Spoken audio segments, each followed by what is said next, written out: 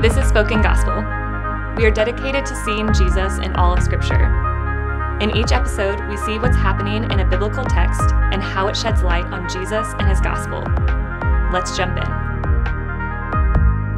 Paul ends his letter by reminding the Ephesian church that their life is a battle, not against each other, but against spiritual powers. Paul draws his readers' attention to dark spiritual powers several times.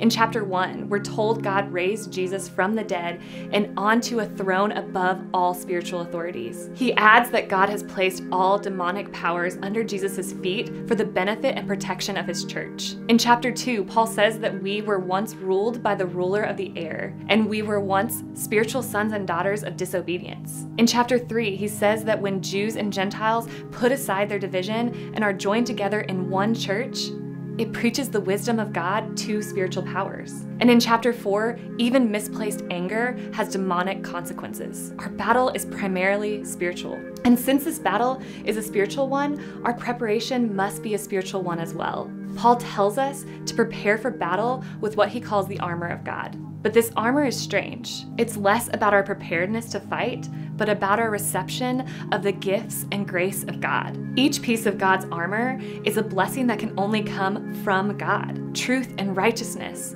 peace, faith, salvation, and His Holy Spirit. Believers arm themselves against the spiritual powers by remembering what God has done for them. The way believers extinguish the lies and attacks of an enemy is to remember, to put on, and to arm ourselves with what God has done for us in Christ. Paul's final encouragement is simple pray. Through prayer, the powers of darkness are once again shamed by the light of God's salvation. Through prayer, darkness is pushed back.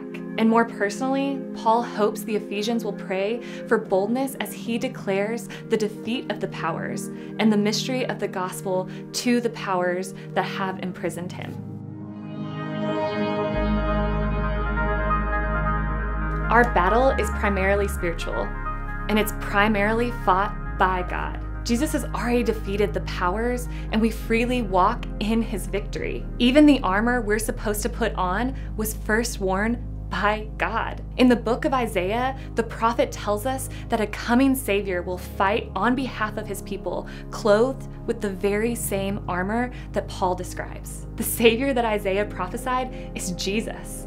Jesus puts on the armor as he fights for our salvation on the cross. He skewers our sin with his sword, and his faithfulness will never allow death to overthrow us again. In his resurrection, Jesus becomes our armor. In Jesus, the battle is already won, and the weapons that have already defeated our enemy are ours to wear. Our call is to put on Jesus, who is our armor, and walk in his victory. Let's not forget that God in his mercy, has seated us with Christ in the heavenly places.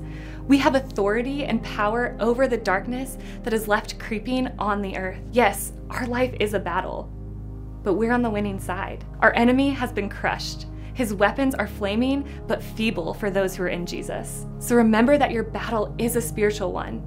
Your greatest enemy isn't your boss or your spouse or your prison guard. The powers of darkness want to use your situation to see you fall. But remember that Jesus has fought for you and won. Now Jesus covers you in his own armor, and by his Spirit, you will withstand these evil days. I pray that the Holy Spirit will open your eyes to see the God who fights for us.